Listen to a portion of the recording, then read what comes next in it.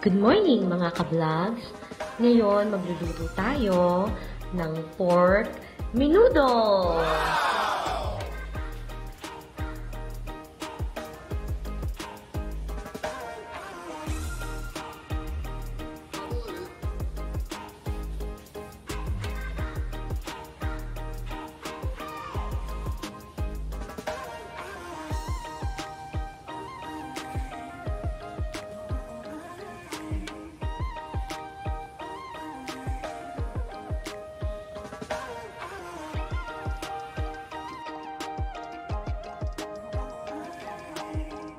Bawang, sibuyas, we have milk cheese, cheddar cheese, we have tomato sauce, oyster sauce, ang ating black pepper, soy sauce, of course, our bell peppers!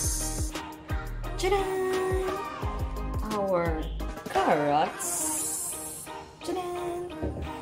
our potato can and our binabad na lean meat.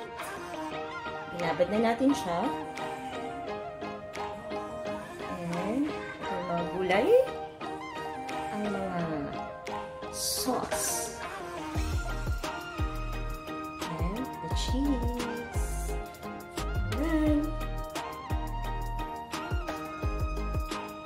For this one, gagamit tayo ng tupal na cooking pan.